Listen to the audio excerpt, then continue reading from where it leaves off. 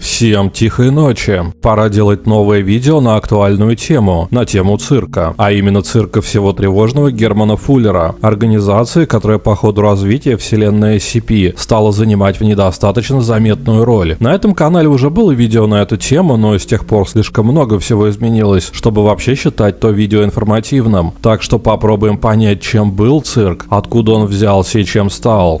Житель любого уголка мультивселенной в один прекрасный день может заметить на столбе странную афишу. Какой-то бродячий цирк, приглашающий на свое представление, при этом обещающий зрителю величайшее шоу на Земле. Если прийти на место, указанное в афише, можно с удивлением обнаружить, что там буквально за одну ночь на каком-нибудь пустыре вырос огромный цирковой шатер. Вокруг него уже суетятся странного вида клоуны, в клетках сидят существа явно из иных миров, вокруг катаются тележки с невиданными сладостями. И вот ты уже не замечаешь, как купил билет и как занял свое место в зрительном зале. А когда представление начинается, забываешь обо всем, ведь происходящее на сцене выходит далеко за рамки разумного и вообще возможного. Вот, например, на сцену вышел горящий человек. Все его тело буквально объято пламенем. Видно, что огонь самый настоящий. Доброволец, вызвавшийся потрогать артиста, кажется, уехал на скорой. Он получил тяжелые ожоги. А вот выкатили пушку и заряжают в нее человека. Вроде классический номер, но после выстрела вылетает не целый артист, а конечности и органы по отдельности. По сцене катится голова несчастной, и вдруг она заливается веселым смехом, показывая, что она жива, и даже веселится, разглядывая шокированных зрителей. После этого на сцену вышел рыба-человек, как будто пришедший сюда из одного из лавкрафтовских мифов. Он начинает рассказывать что-то про морские глубины и древние ужасы, но вряд ли кто-то из шокированной публики что-то запомнит. Под конец на сцену выходят клоуны, и все предыдущие чудеса как-то меркнут. В этот момент буквально каждый зритель понимает, что происходит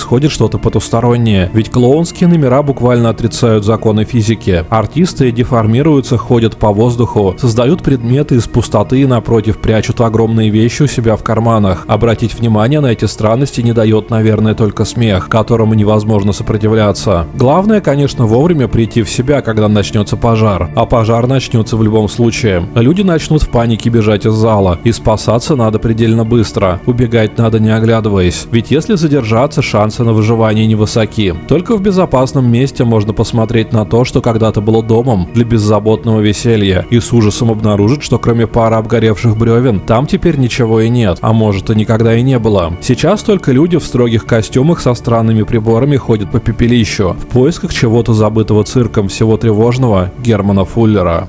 Фонд SCP, конечно же, не мог пройти мимо таких событий. Его агенты начали реагировать на сообщения о появлении цирка почти сразу. Однако, по большей части, это были выезды на гору пепла. Но так происходит не всегда. Например, один раз сотрудник фонда решил внимательно осмотреть уцелевшую в огне постройку с надписью «Фотостудия». Там сидел человек с сильным запахом рыбы. Кроме этого, у него отсутствовали глаза. Вместо них на лице были два X-образных символа. И что самое странное, это не мешало ему видеть. Более детальные исследование выявило, что его череп состоит из пластин, как у рыбы. Пойманный аномальный человек простодушно рассказал, что он артист цирка Германа Фуллера, и его просто забыли забрать с собой. Информации от него получили не особо много. Узнали только о некоем человеке вверх тормашками. Похоже, важном человеке в этом цирке. Теперь этот рыбообразный выступает в камере SCP-1834. В другой раз посреди сгоревших шатров и будок был найден истощенный гуманоид, ростом более двух метров, стоящий на коленях. Существо не имело внутренних органов, было покрыто неизвестным, похожим на бумагу материалом, и постоянно пело. Кроме того, оно выделяло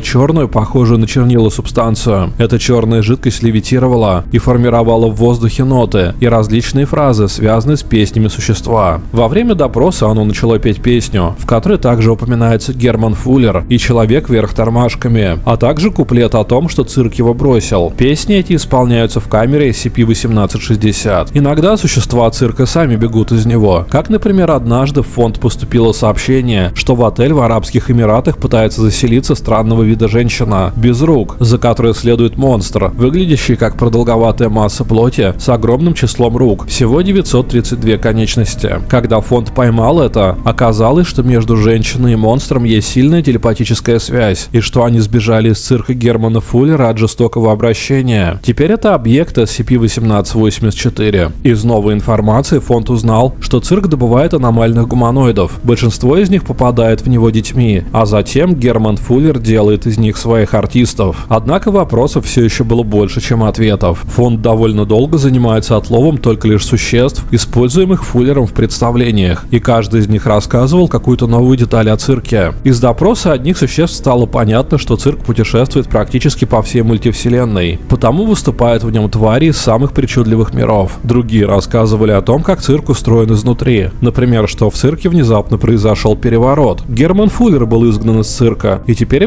всем рулит некая Ики и тот самый человек вверх тормашками. А также на вершине цирковой иерархии находятся особенно могущественные существа, называемые просто клоунами. И, конечно же, почти все из запрашиваемых говорили о том, как тяжела жизнь простых артистов цирка. Тех аномальных людей, которых клоуны превращают в аттракционы. На пепелищах сотрудники SCP находят не только странных существ, но и разные аномальные вещи. Одушевленные воздушные шары, кусающаяся голова тигра, укус которой позволяет человеку левитировать, медведь-киборг, до чего только не попадается. Однажды, например, нашли палку, которую можно неизвестным образом вставить в любой твердый предмет и деформировать его так, как будто он является вязкой массой. Особенно интересно в находке было то, что на прикрепленной бирке был написан телефон, позвонив по которому можно было связаться с человеком по имени Гэри Горхэм. Судя по всему, этот человек находится прямо в цирке и может принимать звонки из любой точки мультивселенной. Кроме того, сотрудники нашли передвижной киоск для производства сладкой ваты. Он поначалу выглядел довольно обычным, но в ходе испытаний проявил множество аномальных свойств. Сладкая вата всегда получалась черной и оказывала сложный эффект на организм потребителя. Внутри самого этого киоска была найдена емкость с надписью «Клоунское молоко». Она была заполнена черной жижей. Судя по всему и придававшей вате ее цвет и странные свойства. Оказалось, что если человек потребит эту субстанцию в чистом виде, он умирает от переизбытков гормонов счастья. У этой тележки обнаружилось еще множество свойств, и они описаны в документации к SCP-1921. Но самым главным открытием для ученых фонда стало то самое клоунское молоко. Мерзкая черная жижа во многом служила источником потусторонних сил цирка. Она приводила в движение странное представление, а также позволяла цирку перемещаться перемещаться между мирами. В некоторых документах, например в SCP-4459, можно найти упоминание о том, что если человек переживал контакт с этой субстанцией, он претерпевал значительное преобразование, становясь чем-то слабо напоминающим человека. Руководство SCP осознало, что странная черная жидкость может быть ключом к разгадке тайн клоунской организации и собрало МОК КП-14. Это МОК, реагируя на очередное сообщение о цирке, как-то раз смогла захватить 10 бочек с подобной субстанцией. Так что теперь ученые членам организации было с чем работать. Оказалось, что когда этой жидкости достаточно много в одном месте, она собирается в гуманоидных существ, состоящих примерно из 8 литров вещества каждая. Эти существа бесцельно ходят туда-сюда, пока не натыкаются на человека. В этом случае жидкость пытается забраться ему в рот. Впрочем, оказалось, что это не клоунское молоко, а что-то отдаленно на него похожее. Среди этих бочек была обнаружена связанная женщина, и она рассказала, что создавала из обычной патоки сахарных големов, чем жидкость в ее бочках и являлась. Затем она поделилась с фондом полезной информацией о том, что все высшие посты в цирке занимают клоуны, и они являются существами, значительно превосходящими в своих возможностях людей.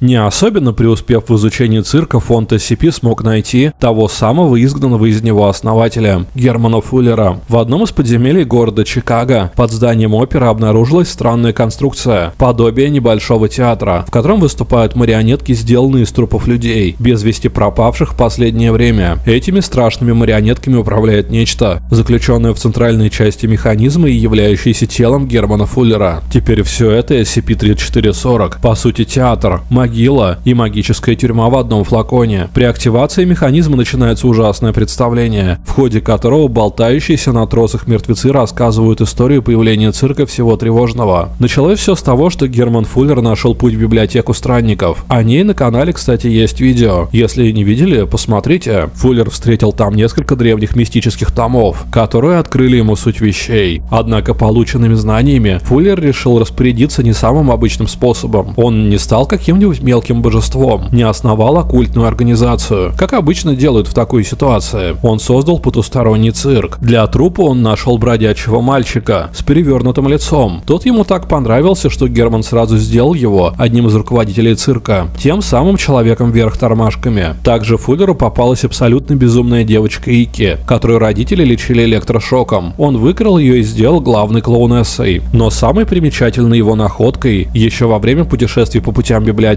была раса существ, не имеющих постоянной формы. Существа эти были по сути воплощением древнего первобытного ужаса. И извращенный гений Фуллера дал им форму, сделав их клоунами. Теми самыми клоунами, которые представляют собой основную массу артистов цирка. Герман Фуллер был крайне жестоким управителем, и в какой-то момент уже повзрослевшие Ики и человек вверх тормашками сговорились с клоунами и выкинули Фуллера в пространство между измерениями. Будучи на тот момент уже достаточно сильным мистиком, он смог оттуда выбраться, но попал в ловушку, теперь известную фонду SCP как объект 3440.